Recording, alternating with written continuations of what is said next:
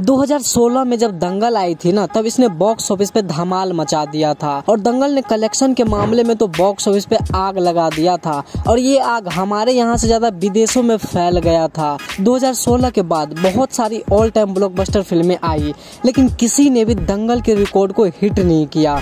मतलब किसी ने भी उसके रिकॉर्ड को नहीं तोड़ा। वो कैसे? आगे इस वीडियो में हम जानते हैं। देखिए 2016 के बाद बाहुबली टू के चैप्टर टू, आर पठान जवान, ये सभी फ़िल्में आई। आई, जो कि ऑल टाइम ब्लॉकबस्टर फ़िल्में हैं, और इसमें से जवान अभी भी रनिंग में है।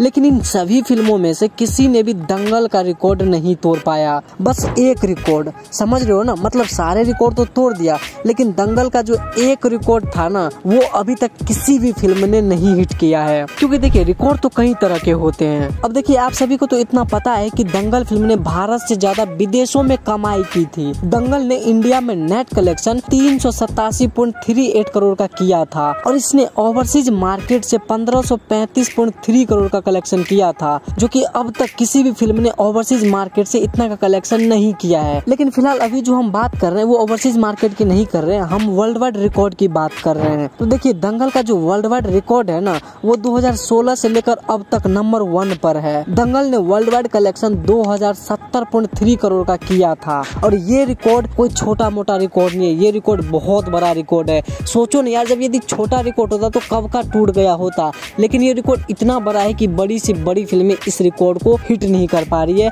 न इसे तोड़ पा रही है। 2016 से आज तक ये फ़िल्म नंबर वन पर है वर्ल्ड वाइड कलेक्शन के मामले में। दंगल के बाद 2017 में बाहुबली टू आई और इसने वर्ल्ड वाइड कलेक्शन सत्रह करोड़ का किया था और के चैप्टर टू ने वर्ल्ड वाइड कलेक्शन बारह करोड़ का किया था। आर ने बारह करोड़ का कलेक्शन किया था। और अब जवान, जो की अभी रनिंग में है। जवान ने अब तक वर्ल्ड वाइड कलेक्शन 1125.20 करोड़ का कर लिया है और सिर्फ़ ओवरसीज मार्केट से जवान ने अब तक 380.34 करोड़ का कलेक्शन कर लिया है, जबकि दंगल ने सिर्फ़ ओवरसीज मार्केट से 1535.38 करोड़ का कलेक्शन किया था। मतलब कितना बड़ा डिफरेंस है भाई। जितना भाई दंगल ने सिर्फ़ ओवरसीज मार्केट से कलेक्शन किया है ना, उतना तो बड़ी बड़ी फ़िल्में जो है ना, वो वर्ल्ड वाइड कलेक्शन भी नहीं कर पाती है। और आज जवान को सैंतीस दिन हो चुके हैं और आज जवान चार करोड़ का कलेक्शन कर सकती है। लेकिन ये दंगल के वर्ल्ड वाइड कलेक्शन रिकॉर्ड को नहीं तोड़ सकती। वैसे आपको क्या लगता है कि दंगल के इस रिकॉर्ड को कौन तोड़ सकती है? क्योंकि आगे अभी बड़ी सी बड़ी फ़िल्म आने वाली है सलार डंकी एनिमल क्या इनमें से कोई दंगल का रिकॉर्ड तोड़ सकती है? आपको क्या लगता है? कॉमेंट सेक्शन में ज़रूर लिखना।